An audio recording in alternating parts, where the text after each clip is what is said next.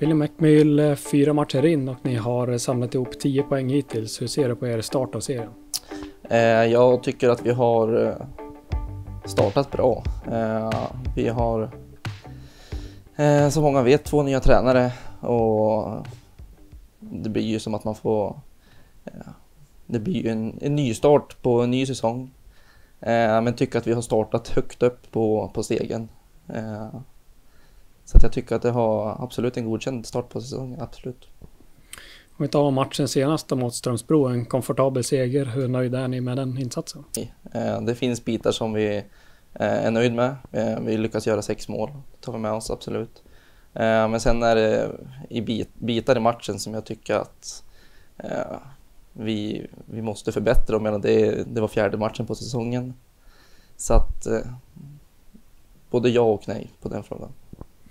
Eh, bra drag publiken, över 900 på plats. Hur upplevde ni eh, stämningen från läktaren? Jo, det var helt fantastiskt. Eh, fredag kväll, eh, det blir som ett derby mot Strömsbro så att eh, vi kände att vi hade publiken med oss i 60 minuter och vi känner ju att vi har haft publiken med oss hela säsongen egentligen eh, och tycker att det är helt fantastiskt med uppslutningen som har varit här nu i, i den här säsongen och vi tycker bara att det lyfter oss som lag och känner att de får oss att växa. Och, ja, det är bara kul.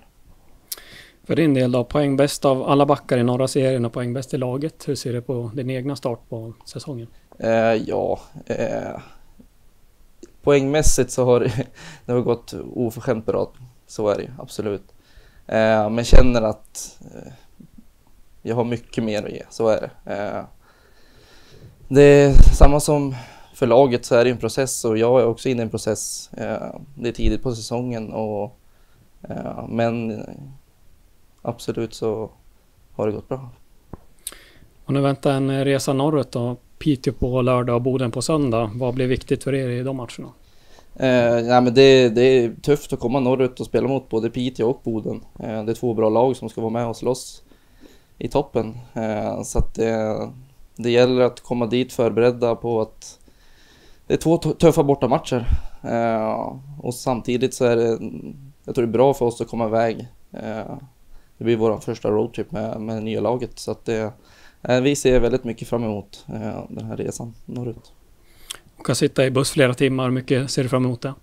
Det har man längtat efter nu hela sommaren. Nej, men det, det, blir, det blir som jag sa, det, det är bra för oss eh, få känna på varandra lite grann. Eh, snittsnacka mycket på, på bussen och sådär så att det, ja, det är bara bra. Säger vi tack så mycket och stort lycka till. Tack.